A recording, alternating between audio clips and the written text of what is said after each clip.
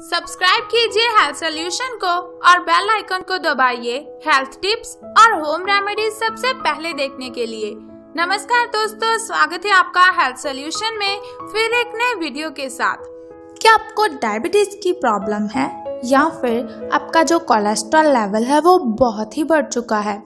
या फिर आपके बाल झड़ते हैं या फिर आपका बीपी हाई होता है? तो कोई बात नहीं अगर आपको इन सभी प्रॉब्लम में से कोई एक प्रॉब्लम है, या फिर ये सभी की सभी प्रॉब्लम्स आपको है तो आपको घबराने की कोई भी ज़रूरत नहीं है। क्योंकि आज इस वीडियो में मैं आपको बताऊँगी कि इन सभी बीमारियों को हम कैसे ख़त्म कर सकते हैं। वो भी बहुत ही सिंपल तरीके से। अब हम बात करते हैं कि वो क्या चीज़ है। दरअसल वो है प्याज।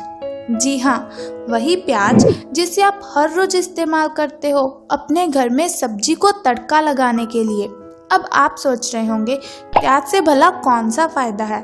सबसे पहले तो ये जान लीजिए कि प्याज का सेवन आपको किस तरह और कितनी मात्रा में और किस तरीके से करना है।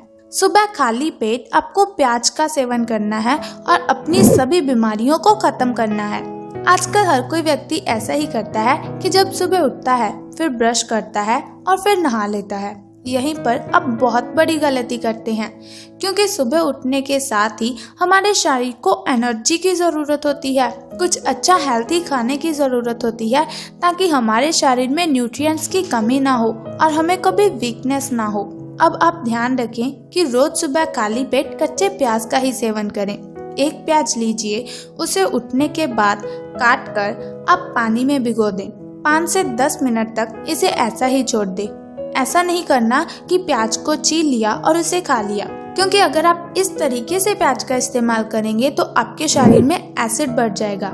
कुछ लोग कहते हैं कि उनके पेट में प्याज का सेवन करने से एसिडिटी हो जाती है। इसकी वजह ये ही है। क्योंकि प्याज जो है, उसमें एलिन नामक एसिड होता है और जब हम प्याज को काटने के तुरंत बाद खा लेते हैं तो वो एलिन नामक एसिड एलिन नामक ही रहता है। लेकिन जब हम इसे काट कर पानी में भिगोकर, उसे पाँच से दस मिनट तक छोड़ देते हैं तो जो वो एलिन नामक एसिड होता है, वो एलिकेन में बदल जाता है, जिससे हमें बहुत सा फ़ायदा मिलता है। अब बात करते हैं, प्याज का सेवन करने से हमें क्या क्या फ़ायदे हैं? सबसे बड़ा फ़ायदा तो ये है कि ये डायबिटीज़ की प्रॉब्लम को जड़ से खत्म करने में बहुत ही हेल्पफुल है। कुछ लोग सोचते हैं कि डायबिटीज़ की प्रॉब्लम शायद ज़्यादा शुगर खाने से होती है, लेकिन ऐसा बिल्कुल भी नहीं है। हमारे पेट के नीचे पेनक्रियास होता है, जो कि इंसुलिन पैदा करने का मुख्य स्रोत है। कुछ स्थितियाँ ऐसी आती हैं कि हमारा जो पेनक्रियास है, वो काम करना बिल्कुल बंद कर देता है और इंसुलिन को प्रोड्यूस ही नहीं कर पाता। इसी वजह से हमें डायबिटीज़ हो जाती है। इसीलिए अगर आप पेनक्रियास को स्ट्रॉन्ग करना चाहते हैं, उसे मज़बूत करना चाहते हैं तो अपने खाने में कच्ची चीज़ें शामिल करनी चाहिए। और अगर आपको डायबिटीज़ की प्रॉब्लम है तो रोज़ सुबह खाली पेट कच्चे प्याज का सेवन करें। वो भी मेरे बताए हुए तरीके से, ताकि आपको उसका पूरा पूरा फ़ायदा मिल सके। इसके अलावा, अगर आपको कैंसर की प्रॉब्लम है प्रोस्टेट कैंसर, ब्रेस्ट कैंसर, पेट का कैंसर या फिर किसी भी प्रकार का कैंसर है तो उस कैंसर को ख़त्म करने के लिए भी प्याज का सेवन करना बहुत ही फ़ायदेमंद है।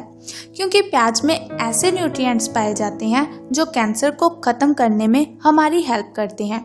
इसीलिए अगर आप रोज़ सुबह खाली पेट कच्चे प्याज का सेवन करेंगे तो आपके शरीर में अगर कैंसर की प्रॉब्लम हो चुकी है वैसे तो भगवान करे कि ये प्रॉब्लम किसी को भी ना हो, लेकिन फिर भी अगर आप अपने गलत खान पान के कारण इस भयंकर बीमारी का शिकार हो चुके हैं तो आप रोज सुबह खाली पेट कच्चे प्याज का सेवन करें। आपके शरीर के जो कैंसर सेल्स हैं, वो खत्म होना शुरू हो जाएँगे। इसके अलावा, अगर आप प्याज के फ़ायदे जानकर इसका इस्तेमाल ज़्यादा करेंगे तो उससे आपको नुकसान है। जी हाँ अगर हमें किसी भी चीज़ से फ़ायदा हो रहा है तो उसके नुकसान भी होते हैं। जैसे कि आप जानते होंगे कि जो पुराने ऋषि मुनि थे, वो प्याज का सेवन नहीं करते थे। लेकिन कुछ लोग कहते हैं कि वो प्याज का सेवन इसलिए नहीं करते थे क्योंकि इसकी स्मेल गंदी है। लेकिन नहीं, वो ऐसा बिल्कुल भी नहीं सोचते थे, बल्कि वो प्याज का सेवन इसलिए नहीं करते थे क्योंकि उन्हें दिन भर तपस्या करनी होती थी। सालों साल उनकी दिन तपस्या में ही बीत जाते थे। इसी वजह से वो प्याज का सेवन नहीं करते थे, क्योंकि ये तामसिक भोजन है। जब हम प्याज का सेवन ज़्यादा करते हैं तो ये हमारे शरीर को तेज़ी दे देता है, हमारे दिमाग को तेज़ी दे देता है, जिसकी वजह से हम उस काम पर कंसंट्रेशन नहीं कर पाते, जिस काम को हम करना चाहते हैं। इसके अलावा आप ये भी जान लीजिए कि ऐसा ना हो कि आप गंदी स्मेल की वजह से प्याज का सेवन ना करें। कभी भी किसी चीज़ के अवगुण मत देखिए, उसके गुणों की ओर देखिए। प्याज के गुणों की वजह से इसकी स्मेल की ओर देखकर इसे मत छोड़िए। अगर आपको ये प्रॉब्लम है कि इसका सेवन करने से मुँह से स्मेल आती है तो आप प्याज का सेवन करने के आधा घंटा बाद इलायची को खा लीजिए। आप देखेंगे आपके मुँह से कोई स्मेल नहीं आएगी। तो ये तो हुए प्याज खाने के फ़ायदे। अगर आपको ये वीडियो अच्छी लगी हो तो हमें कमेंट कर ज़रूर बताएँ। साथ ही हमारे चैनल को सब्सक्राइब कर दें और बेल आइकन के निशान पर क्लिक कर दें ताकि आप वीडियोस के ज़रिए मेरे साथ कनेक्टेड रहें और आने वाली वीडियो की सबसे पहली नोटिफिकेशन आपको ही मिले। सो तब तक के लिए goodbye and take care. Thank you.